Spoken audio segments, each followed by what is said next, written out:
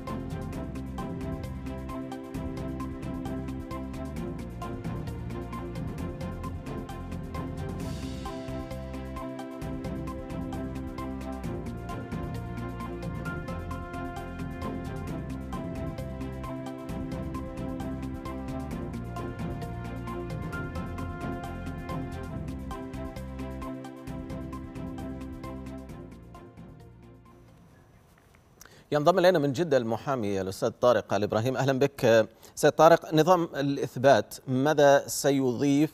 ما هو الفارق الذي سيصنعه في المنظومة القضائية تحديدا؟ بسم الله والحمد لله والصلاة والسلام على رسول الله. حياك الله يا أستاذي. في البداية نشكر الله سبحانه وتعالى على نعمه. نشكر الله سبحانه وتعالى على نعمة القيادة الرشيدة. نشكر الله على نعمة الأمن والأمان التي نعيشها. نعم. ونشكر مولاي خادم الحرمين الشريفين على دعمه ونشكر سيدي ولي العهد صاحب السمو الملكي الأمير محمد بن سلمان صاحب الرؤية الذي حمل على عاتقه التطوير الذي نشاهده اليوم. بصراحة سؤالك مهم جدا يا سيدي. نظام الإثبات سيضيف الكثير. هناك فارق ولا شك. نظام الإثبات؟ نظام. حسب مسودته طبعا اللي اطلعنا عليه واللي أقرت اليوم لم يكن فقط نظاما عاديا بل هو نظام واكب الأنظمة وتقدم عليها. يكفيك أن هناك بابا كاملا فيه للأدلة الرقمية. م. هذه قفزة في في التشريع. هذا التطور سيحقق مبدأ العدالة الناجزة وسيحقق العدالة الوقائية. وهذا الذي نحن بحاجته في هذا الوضع. طيب أنتم كمحامين يعني ما هو الأثر لهذا النظام على عمل المحامين تيسيره ما إلى ذلك؟ آه نعم. آه نحن كمحامين ننظر للموضوع عفوا. نحن كمحامين ننظر للموضوع هذا بسعادة بالغة لأن التطور ال الذي نشاهده الآن تطور آه كنا يعني نتأمل حصوله وها هو يحصل الآن على الأفراد وعلى الشركات ليس على الأفراد فقط بل حتى على الشركات. سينالها خير كثير من هذا النظام. كيف؟ لنتحدث عن السرعة نتحدث عن الدقة نتحدث عن الانضباط. هذا النظام يعكس هذه الأمور ويعكس غيرها من المزايا. سيستفيدون. سيستفيد الكثير الكل منه ولا شك. طيب الأفراد تحديدا هل من فارق سيصنع هذا النظام آه، بالنسبة لهم وكيف؟ آه، طبعا يا سيدي الآن إحنا نتحدث عن الأفراد. نتحدث عن آه، التقاضي قد يطول أمده. أستذكر في هذه الحالة ما ذكره سيدي صاحب السمو الملك الأمير محمد بن سلمان قبل ستة أشهر. ليس بالبعيد قبل ستة أشهر. قال إن عدم وجود هذه التشريعات أدى إلى تباين في الأحكام وعدم وضوح في القواعد الحاكمة للوقائع والممارسات ما أدى إلى طول أمد التقاضي الذي لا يستند على نصوص نظامية، إحنا عندنا طول أمد تقاضي الآن. سوف يصبح هذا الموضوع من الماضي بإذن الله، نحن في وضع جيد وسنتطور إلى الأفضل. طيب فهذا سينعكس على الأفراد أنه التباين لن يكون موجودا بإذن الله، سيعرفون أوضاعهم ومسار قضيتهم إلى أين وبسرعة. ماذا تقصد بالتباين؟ هل هو الأحكام في القضايا المتشابهة ولكن هناك أحكام مختلفة بالنسبة للأفراد طبعا إحنا إحنا نتحدث عن أدلة إثبات. نتحدث عن آه، آه، مدارس مختلفة تتناول الأدلة من جهة إلى أخرى وكيف وضعها. نظام الإثبات أتى ليقنن هذا الأمر ويضعه في إطاره الصحيح فيجمعون الناس على رأي واحد. يصبح عندهم أدلة محددة آه، يستطيعون يستطيع الكل أن أن يتوقع ويتنبأ كيف ستكون الأحكام في المستقبل. وهذا طيب. سيساعد طبعا. يعني آه، هناك أربعة أنظمة. هذا الأول منها آه، لدينا أيضا مشروع نظام الأحوال الشخصية مشروع نظام المعاملات المدنية ومشروع النظام الجزائي للعقوبات التعزيرية وسيصدر النظام الثاني خلال الربع الأول من العام 2022 آه، مع النهضة التي تعيشها المملكة أهمية تحديث وتطوير الأنظمة ليس فقط الاقتصادية والسياسية ولكن حتى العدلية منها والقضائية. نعم. سيدي هذه بشائر كلها بشائر خير. نحن يعني ننظر لها بغبطة وبسعادة. ونحن ننظر هذه الأنظمة آه، نظام تلو نظام سيسهل عملية. أنا يعني كشخص لي تقريبا 25 سنة في المهنة الآن. أنظر إلى هذا التطور آه، بعين الإعجاب والرضا الكاملين. آه، ننظر إلى نظام الأحوال الشخصية، نظام التعاملات المدنية أيضا في في فيما سيأتي، كل هذا سيحقق الشفافية. ويعزز الأنظمة التشريعية في المملكة العربية السعودية ويلقي بظلال إيجابية جدا في الداخل وفي الخارج طيب هذا هذا النظام قيل في المسودة أنه استوعب التجارب الدولية ولكنه أيضا وأنت أشرت لنقطة الأدلة الرقمية هو أسبق الأنظمة العربية في إفراد باب مستقل للأدلة الرقمية، ما هي الأدلة الرقمية؟ ما أهميتها ودلالة السبق عربيا فيها؟ طيب آه، في البداية عندنا ميزة في المملكة العربية السعودية. جميع أنظمتنا سواء نظام الإثبات أو غيره من الأنظمة كلها مستمدة من أحكام الشريعة الإسلامية. هذه النقطة آه، تميزنا وتجعل لنا ميزة أفضل. تواكب جميع الأنظمة نأخذ من جميع الأنظمة يطلعون عليها يدرسونها ينتقون منها الأفضل والأجود وتوضع هذه الأنظمة آه، المواد في نظام متطور حديث ومستمد طبعا من الشريعة الإسلامية زي ما تكلمنا عليها. أتى في أتت شفنا اطلعنا على المسودة كانت في الباب الرابع. كان هناك يعني تخيل إنه هناك 11 مادة تتكلم فقط عن الدليل الرقمي. وهذا وهذا تطور كبير جدا أن نجد هذا في نظام آه، الإثبات. يعني بنجد النظام يتعرض للدليل الرقمي فيقول يعد دليلا رقميا. كله دليل مستمد من أي بيانات تنشأ أو تصدر أو تستلم أو تخزن. أو تبلغ أو تحفظ أو تبلغ بوسيلة رقمية. هذا معناته إحنا أخذنا في أخذنا الموضوع بالإطار الواسع فيه وهذا اللي يشمل جميع الوسائل و طيب لكن أنا أنا كفرد عادي ربما لا أفهم ما هو الأدلة الرقمية يعني. تحديدا. هل هي ممكن طيب. صور من الهاتف النقال أم ماذا خلي خلي خلينا ناخذها. النظام قال جميع المراسلات الإلكترونية. إذا وضعنا في العقد إنه سيتم تبادل البيانات والرسائل بيننا حسب البريد الإلكتروني معناته هذا البريد هو الحاكم في هذا الأمر. جيد. خلاص. عفوا. أصبح هذا هو أصبح هذا هو الأساس. الوسائل الرقمية متنوعة. منها ما يكون بالبريد الإلكتروني منها ما يكون بالرسائل النصية آه، منها ما يكون ممكن يستوعب جميع الرسائل الوسائل الإلكترونية. أنا أعتقد حتى برامج التواصل الاجتماعي التي يتم اعتمادها بين الأطراف أصبح في العقود يعتمدون حتى برامج مثل الواتس مثلا في الإرسال والتراسل. ما دام نصينا عليها في العقد سيصبح تصبح وسيلة إثبات. وغيرها أيضا. جيد لأنه سابقا لم تكن يعني كان البعض لا يأخذ بها والبعض يتحفظ والبعض له رأي لم يكن الأمر واضحا بهذا نعم. أنا أنا دعني أضيف أمر. من على الخصم الذي يدعي عدم صحة الدليل الرقمي يقع عليه عبء إثبات عدم صحته. أه. يعني يعني هذه خطوة متقدمة جدا. طيب حتى حتى هذا الأمر وإن سمحت لي أيضا؟ تفضل تفضل. حتى, حتى هذا الموضوع يستطرق إلى جوانب أخرى. أحيانا المحاكم لها اختصاصات مكانية. فيستدعي الموضوع أنه كان كان سابقا ما يسمى بالاستخلاف أن المحكمة تطلب من المحكمة في منطقة أخرى أن تسمع اقوال شاهد تسمع الشاهد أو تأخذ اليمين على سبيل المثال. الآن مع الوسائل التقنية ونظام الإثبات بادلته الرقميه وبما أتاح من وسائل جعل هذا الأمر ممكنا وميسرا. فعجل لو تنظر موضوع الاستخلاف كم كان يأخذ من الوقت. الآن من خلال الوسائل التقنية بيتم نظر الموضوع بشكل مباشر يا سيدي فهي خطوات جبارة للمستقبل. طيب سبق هذا النظام إجراءات لتطوير آه، القضاء والمرافق العدلية وإجراءات التقاضي بين آه، الأفراد وبين القطاعات. آه، كان هناك طول أمد لا أحد ينكر ذلك خلال الأعوام الماضية. حتى في القضايا الأسرية كانت تبقى بالسنوات معلقة في المحاكم. الآن الوضع اختلف بشكل كبير.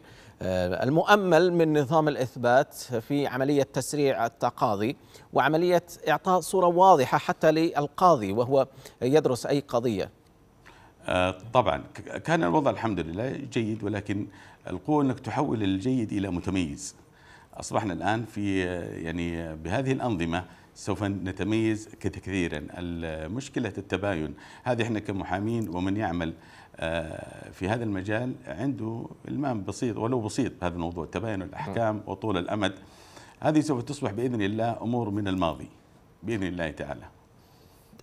تعرف والمشاهدين بأن السعودية قفزت خطوات وقفزات هائلة في موضوع التطوير الاقتصادي. هناك مستثمرون أجانب موجودون وهناك من سيأتي. القطاع التجاري كان له نزاعات وبالتالي لها سلبياتها ولها فتراتها التي تطول أو تقصر. ما هو الانعكاس لقانون أو نظام الإثبات على النظام أو على القطاع التجاري تحديدا والنزاعات فيه؟ آه سيدي لو آه أريد أن أتحدث عن هذا الموضوع قد آخذ وقتا طويلا جدا لتعداد مزايا هذا هذا النظام في آه في في كونه عنصر من عناصر الجذب. لأنه آه، أصبحت وسائل الإثبات ممكن أن يتم الاتفاق عليها. النظام أعمل مبدأ سلطان الإرادة والتيسير على الجميع في إثبات التعاملات فيما بين فيما بينهم في إثبات وسائل التعاملات. فما اتفقوا عليه كتابة من من وسائل وهذه تكون في العقود فسيتم تنفيذها والعمل بها قولا واحدا. هذا أمر جاذب للغاية لأنه الشركات الأجنبية العابرة للحدود شركات الاستثمار بتنظر أيضا إلى موضوع ماذا لو حصل النزاع كيف سيتم الإثبات؟ الآن أصبح عندنا منهج متكامل.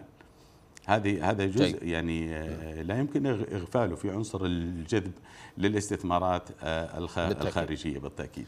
شكرا جزيلا لك أستاذ طارق آل إبراهيم من جدة المحامي. آه، أشكرك. ومشاهدينا نظام الإثبات المقر من مجلس الوزراء هو أحد أربعة أنظمة كما قلنا أعلن عنها سمو ولي العهد في فبراير الماضي لإصلاح المنظومة العدلية ولتحديثها. ومن أجل أن تواكب تطلعات العصر وفق أحدث التجارب العالمية وبما لا يتعارض مع أحكام الشريعة. نتابع في هذا الملف الفوائد المتأتية من إقرار نظام الإثبات وأبرز ما جاء فيه من بنود ثم في نقلة نوعية لإصلاح القضاء. وضمان تحقيق العدالة وافق مجلس الوزراء برئاسة خادم الحرمين الشريفين على نظام الإثبات الذي يستمد أحكامه من الكتاب والسنة مع الاستفادة من التجارب العالمية وبما لا يتعارض مع أحكام الشريعة. يعد الإثبات أول الأنظمة صدورا من ضمن أربع تشريعات ستليها الأخرى تباعا والتي أعلن تطويرها ولي العهد الأمير محمد بن سلمان سابقا. ما تقدر تخترع العجلة. العالم كله يعمل على أنظمة واضحة وقوانين واضحة لتنظيم حياة البشر. وسيتكون نظام الإثبات من أكثر من 100 مادة تراعي المتغيرات على الأدلة نظرا لأهميتها في أي نزاع قضائي. مع إيجاد مواد تستوعب ما تحتاج إليه المحكمة والخصوم في الإثبات المدني والتجاري. لكن بماذا سيسهم هذا التشريع؟ وما هو عمله فور اعتماده؟ استحداث نظام خاص بالإثبات سيساعد في استقرار الأحكام القضائية وإمكانية التنبؤ بما ستعتمد المحكمة عليه من أدلة للإثبات وما لن تعتمده. فمن أبرز ما سيتضمنه التشريع قضائيا أن البينة على من ادعى واليمين على من أنكر وإذا تعارضت الأدلة وتعذر الجمع بينها يأخذ القضاء بما يرجح من ظروف الدعوة فإن تعذر فلا تأخذ المحكمة بأي منها. كما عالج النظام آلية الشهادة والاستجواب كالحد من جرأة البعض على الشهادة بما يخالف الظاهر فمنع النظام قبول الشهادة على التصرفات التي تزيد عن مئة ألف ريال. وفيما يخص القضاة يمنع النظام القاضي من الحكم بالعلم الشخصي مع إلزامه بتقديم الأسباب لما يصدره من قرارات. كما منح مرونة عالية للقضاء بالاستفادة من أدلة الإثبات المعمول بها خارج المملكة. وأجاز الاستعانة بخدمات القطاع الخاص في إجراءات الإثبات. وفي خطوة هي الأولى بين الأنظمة العربية سيخصص النظام بابا مستقلا للأدلة الرقمية بعد استيعاب جميع التجارب الدولية والتغيرات الناشئة بسبب التحول الرقمي في القطاع العدلي وانتشار الأدلة الإلكترونية.